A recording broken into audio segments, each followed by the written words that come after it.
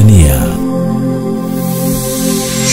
Nafahamu una nia ya kuwekeza katika zao adhimu la parachichi. Nemes Green Garden, wazalishaji wa miche bora ya parachichi mkoani Njombe, wanakukaribisha kufika katika bustani yao iliyoko Maheve, Njombe, kujipatia miche ya parachichi bora kabisa. Nemes Green Garden wamepewa mafunzo na taasisi ya kudhibiti ubora wa mbegu Tanzania TOSCI chini ya Wizara ya Kilimo na kuthibitishwa kuzalisha miche ya parachichi. Ewe mwekezaji, fika Nemes Green Garden kujipatia miche bora kabisa.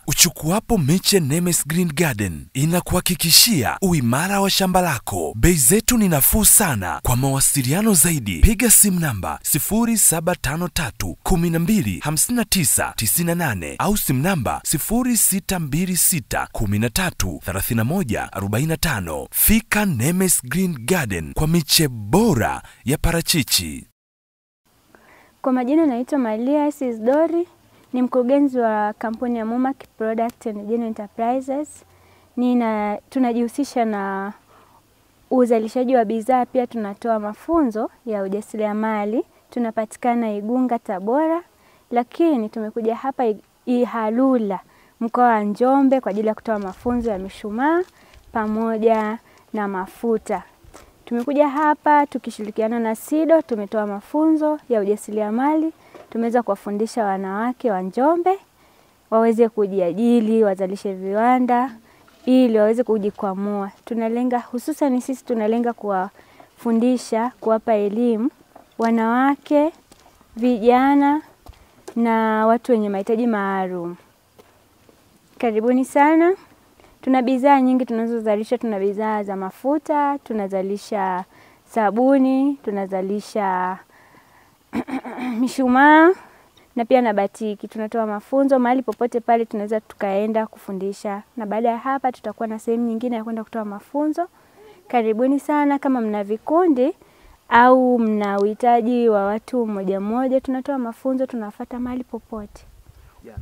Mi ninachowahamasisha vijana waweze kujitoa, wasubutu, wasisubiri kuanza kupewa stori za kwenye madaftari, waweze kusubutu, ndo watakapoelewa kwamba kuna utamu wa kujiajili, kwa sababu kujiajili inaongeza kipato cha taifa kwa mtu mmoja mmoja na kipato cha taifa zima. Pili, sahizi ajira ni ngumu. Mfano, sisi tumehitimu chuo cha walimu miaka kadhaa iliyopita, lakini kutokana na changamoto ya ajira hatukuweza kukaa tukabidi tutafute namna ya kujiajiri, tukaingia SIDO kusoma.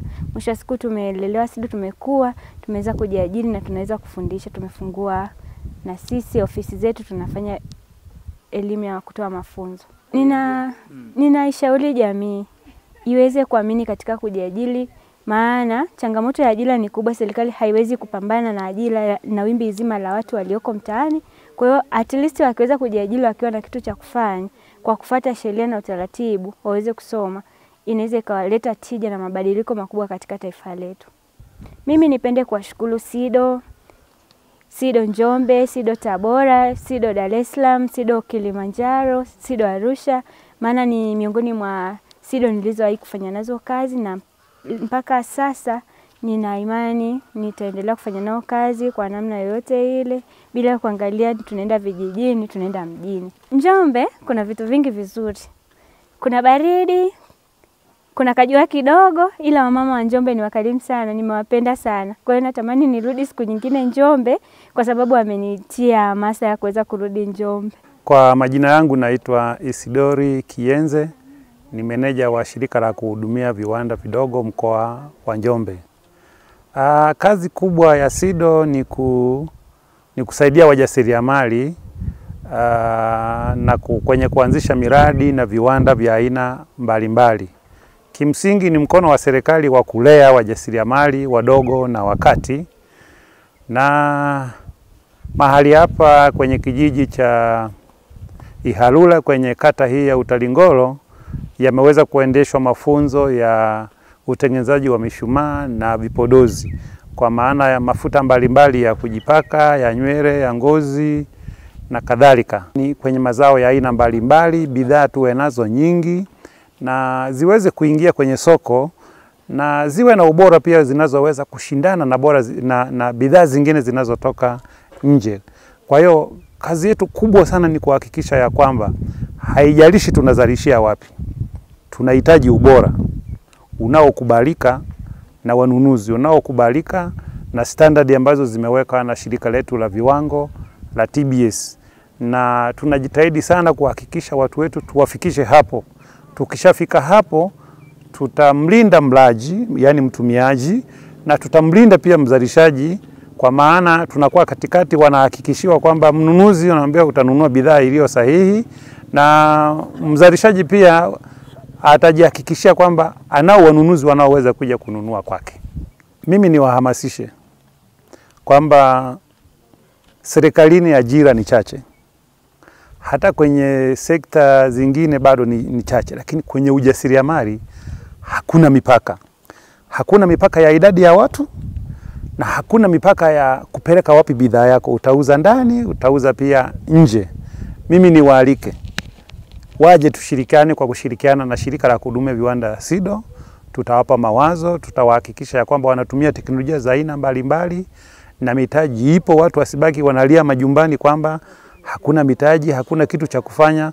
Kuna vitu vingi sana vya kufanya kulingana na mahali tulipo, kulingana na uh, malighafi zinazotuzunguka, kulingana na fursa zilizopo. Kwa hiyo niwaalike waje tubadilishane mawazo, lakini mwisho wa siku kizaliwe kitu kizuri, tuwe na matokeo na watu waweze kununua na kuuza. Aa, kwa mkoa wa Njombe, labda nikianza kidogo kwenye upande wa kiviwanda.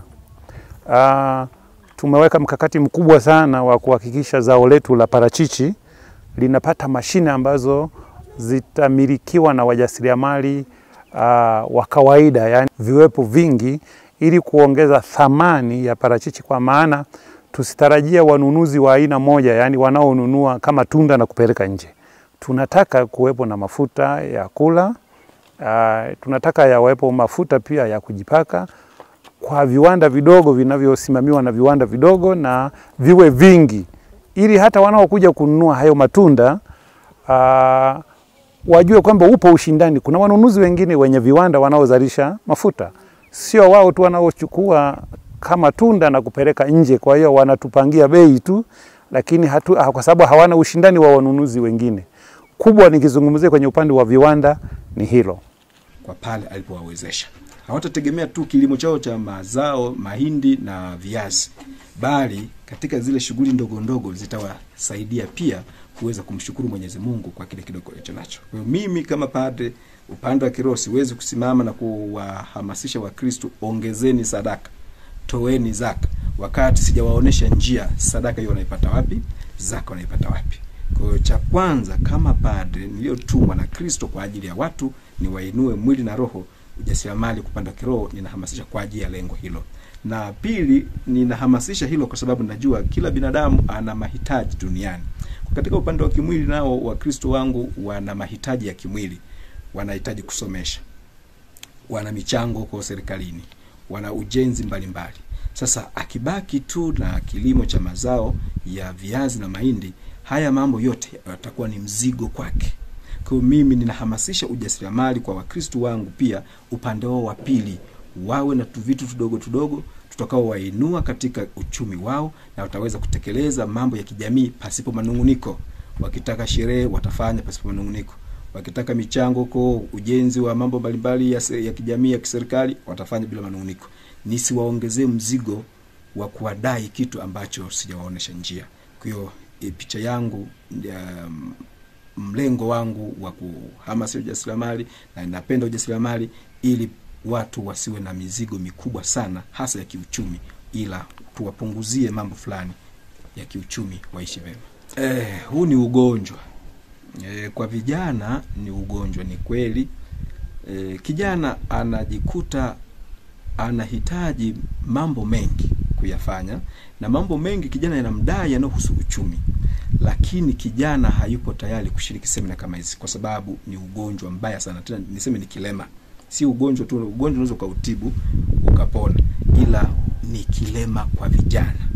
Vijana wengi wana picha ya kwamba maisha ni mepesi na yanapatikanika kiwepesi kwa hiyo akae mahali apige michongo ya mbili tatu, amemaliza. Ndio akili daima inamtuma huko, hana akili ya kusema atulie, ahangaike kwanza. Akitaka kufaidi, ni lazima atoe jasho, atumie akili vizuri, atafute fursa zilizopo, aweze kujifunza, akatekeleze. Anataka maendeleo ya haraka haraka, kitu ambacho hakipo.